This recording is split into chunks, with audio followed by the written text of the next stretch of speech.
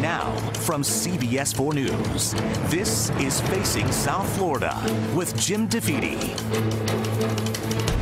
Good morning. I'm Jim DeFede, and welcome to Facing South Florida. In a few minutes, we'll have my interview with Howard Schultz, the former CEO of Starbucks, who is thinking of running for president as an independent. How much ego do you have to have to think you're the one that has the answer? All right, we'll get the answer to that billionaire's question uh, in a few minutes. But uh, first on the show, I want to turn to a dark and disturbing story as we've ever seen in South Florida. A serial sex offender, Jeffrey Epstein, the Palm Beach millionaire who preyed on teenage girls. You're screaming on the inside and you don't know how to let it come out, and you just become this numb figure who refuses to feel and refuses to speak and refuses, all you do is obey. That's it. And eventually it led to, well, now we're going to experiment and we're going to try you with another guy and see how you go. So they sent me to an island with a professor, and, and I basically had to do what I did for Jeffrey for him. So it's very private. It's the perfect world for a billionaire getting away with what he was doing. He could hold big parties there and, and have huge orgies there, and nobody would have any idea what was going on.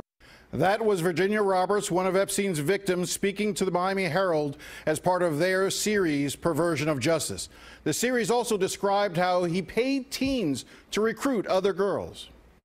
By the time I was 16, I brought him up to 75 girls all the ages of you know 14 15 16 people going from eighth grade to ninth grade at just um, school parties is where i'd recruit them from. All jeffrey cared about was go find me more girls. His appetite was insatiable. He, he couldn't stop. He wanted new fresh young faces every single day. In June 2008, Epstein cut a deal and pleaded guilty to two counts, including one for soliciting an underage prostitute, and was sentenced to 18 months. But instead of being sent to a state prison like most sex offenders, his wealth and privilege allowed him to have his own private wing of the Palm Beach County Jail, his own security team, and he was allowed to essentially come and go from jail as he liked. But the biggest perversion of all was committed by the U.S. Attorney at the time, Alex Acosta, who struck a secret deal with Epstein's high powered lawyers to drop all federal investigations into his conduct. Even worse, the U.S. Attorney's Office lied to Epstein's victims, leading them to believe federal charges were coming when they knew they were letting Epstein off the hook. Now, 10 years later, thanks to the Miami Herald, that decision is facing new scrutiny. And Alex Acosta, who is currently Donald Trump's labor secretary, is under increasing pressure to resign. So, where do things stand? Joining me this morning is Julie Brown of the Miami Herald, who, along with Emily Michot, brought this case to light. Julie, thank you very much for coming in. Thanks for having me. So, I guess what I, where I want to start is there was a ruling uh, within about a month or so ago from a federal judge that essentially said that Acosta in the U.S. Attorney's Office violated the law, specifically the law as it relates to notifying victims of crimes as to what was going on in the case. Talk to me a little bit about Judge Marra's decision. Well, this was a case that was in the making for 10 years. These girls filed this uh, lawsuit against the uh, government right after they found out that something had happened in court. They didn't know what happened this in 2008. They just knew that all of a sudden the case was over, and they were stunned because they were never told what happened. They couldn't get a hold of the plea bargain. They couldn't get a hold of the paperwork that said exactly what happened. So they had to actually sue the government to just find out what he pled to. And it took them uh, almost a year to actually get a copy of the agreement that said that he was pleading to lesser charges in state court court. So they continued this lawsuit, realizing that because they hadn't been informed about it, uh, that, that, that prosecutors had broken the Crime Victims' Rights Act. And it was it like I said, it took a whole decade, uh, and it, the judge just ruled finally last month that, it, in fact, the, the, prosecutors, including Acosta, had broken this Crime Victims' Rights Act. The part of Marra's ruling was, and I'm reading now, when the government gives information to victims, it cannot be misleading. And that is essentially what the U.S. Attorney's Office, Alex Acosta, and the U.S. Attorney's Office for the Southern District of Florida did. They misled these victims into believing their cases were still uh, being investigated and that charges would be brought. Right. And, you know, even almost to the time that, that this all went down, uh, the FBI had a lot of evidence against Epstein. They were even finding out that he had been doing this in New York and in other places around the country. Uh, they had witnesses that said that he was recruiting girls from overseas. So they were, you know, they were building a case, but at the same time, the FBI was building a case. The, the prosecutors were really negotiating with uh, Epstein's lawyers. So let's take a step back for a second. Who is Jeffrey Epstein? How, how did this man be able to get such a sweet deal to be able to intimidate the U.S. Attorney's Office, to be able to come and go as he liked in the, in the state court system and out of the Palm Beach County Jail? Who is Jeffrey Epstein? He's a he's a actually a New York money manager. He worked for Bear Stearns early in his career, and he ended up um, getting to know a lot of very uh, wealthy people, and opened his own uh, firm, to, uh, investment firm essentially, and he started representing only people who had a billion dollars or more. And as a result of his, him meeting all these very wealthy people, he also met people who were in, you know, President Clinton, um, President Trump, uh, you know, actors, actresses, uh, academics, um, royalty, royalty, Prince Andrew. So he you know, he moved in that in those kinds of circles, and he had a lot of connections, and he spread. Quite frankly, he spent a lot of money around, spread it around to um, people who wanted it for their charities. For example, you know, Clinton had uh, the Clinton Foundation, so you know what he would do would he he donated a lot of money to a lot of charitable causes. His defense team at the time, go back ten years. Talk about who made up. Talk about dream teams of defense teams. Who was on his defense team? Well, it started with Alan Dershowitz because uh, Mr. Dershowitz was a friend of his who had stayed at his Palm Beach home with his family on vacation. Um, and it also included the uh, lawyer Roy Black. Um, and then when it became clear that he was in trouble, there was a criminal investigation into what he was doing. He, even though he moved primarily in, in Democratic political circles.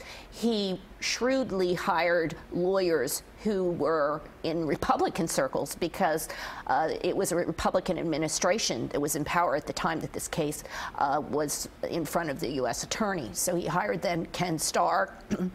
as we know, who was the Clinton Whitewater prosecutor, and he hired um, uh, um, Jay Lefkowitz, who was also a Republican, who they were all tied to the same law firm. And he and he also hired former members of this of the U.S. Attorney's Office in South Florida. Yeah. So he had people who knew connections into into way had relationships. In fact, some of those people, one of those people actually sat down with Alex Acosta when he was the U.S. Attorney here for a breakfast again, somewhat unusual to actually be able to have access to the U.S. Attorney's Office to be able to start cutting deals like this. Right. So, eh, so we go to the situation where now, fast forward, Marra rules that this is a violation of the Crime Victims' Rights Act. But what comes as a result of that? Can, can, can Jeffrey Epstein face new rounds of charges?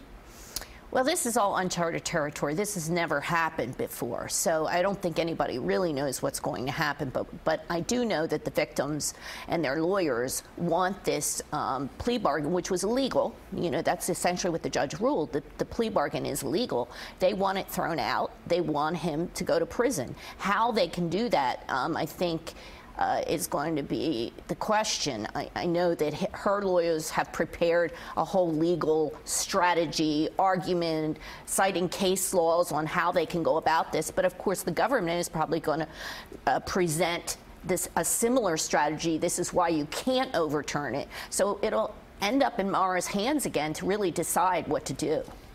Cynic at home is going to sit here and say, you know what, these women, they just want money. They, they, they're just they're doing this because they want to get paid at the end of the day. You, you deal with the you deal with a lot of these victims. Talk to me about that. Well, this crime victims' rights case is has nothing to do with money. they have never sought any money. This is a case that, that just said they violated the law. So they're not, they've never sought money in this particular case. Um, and to be honest with you, they've never, they've always felt like they were mistreated by the criminal justice system. That's why I did this story. So what do they want? What do the victims want in this case? They want him to go to prison. They want him to be held accountable, just like any other person uh, who who committed a crime like this. So one of the questions that I have is, you know, the what is Jeffrey Epstein doing these days? Does he still manage famous people and rich people's money? Is he what is he doing now? Is he not become a pariah? No, not really. Uh, I don't think he, he moves, you know, he's pretty much under the radar right now. I don't think he moves in, in very social, a lot of social circles right now. But after his release from prison, he certainly returned to his jet setting life and he certainly held a couple parties. In fact, one for Prince Andrew that a lot of celebrities and even uh, some journalists attended. Uh, and you know, he, he continued to donate, spread a lot of money around, which ingratiated him to a lot of people, arts organizations, universities, scientific organizations. Let me play devil's advocate for a second, because those who support Alex Acosta, the U.S. Attorney who's now the former U.S. Attorney who's now the Labor Secretary, say that essentially the U.S. Attorney's Office did the best they could. These cases are very difficult to make. The, the victims in these cases, you know, have difficult backgrounds. Some have drug histories. You have a situation where they may not, not might make the best witnesses. And so by getting a conviction, by getting him registered as a sex offender, and also getting some compensation for these victims in civil court processes, that at the end of the day, that's the best justice they could hope for. Well, I, it wasn't the best justice that the, that the women hoped for. They felt that it wasn't justice at all. And by pleading to a charge of prostitution, it sens- essentially uh, categorized these girls, by the way, they were, you know, 13, 14, 15 year olds, as prostitutes. And really, there is no such thing as a child prostitute. That's, it's not. It's a rape victim. Right? Yeah. I mean, they were taken advantage of. These were vulnerable girls, number one. And number two, I mean, let's face it, there's a good chance he could be out there doing this right now. I mean, we don't know, but he is still flying around, and he, he I don't find any evidence that anyone is really monitoring him. So one of the issues is that uh, you've been fighting in, and the Miami Herald has been fighting in federal court in New York to, uh, to unseal more records in this case. Right. Talk to me a little bit about that, and what are you hoping to find in these records? Well, this was a, a, defamation suit that was brought by Virginia Roberts against the woman we saw at the very beginning. That's right. Um, she was recruited by a woman by the name of Ghislaine Maxwell, who was a partner of of Epstein's. And essentially, what she, she alleges is that Ghislaine helped recruit these girls for him. She was sort of the madam of his operation, so to speak. And when she went public accusing her of that, uh, called her a liar. So essentially, they ended up in court in a defamation suit. But they really were trying to use that lawsuit as a vehicle to expose their sex trafficking operation.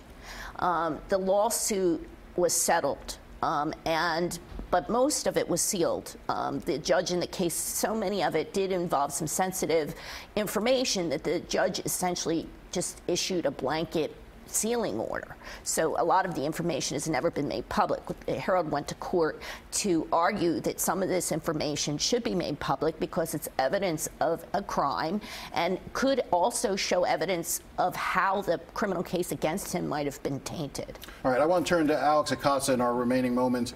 He's currently the U.S. Labor Secretary. He, he, you've tried on many occasions to try to speak to him. I know other reporters have. He does not, will not talk about this.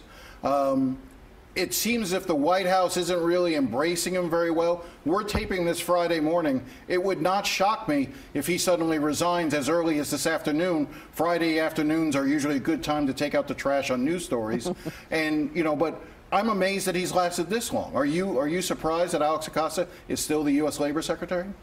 I don't know. I mean, you know, the president keeps a lot of people, uh, you know, under his umbrella who have uh, problematic past. So I don't, I wouldn't say that I'm surprised, but there is a lot of pressure because this is not really. I always tell people this isn't really a Republican or a Democrat issue. Um, sexual assault.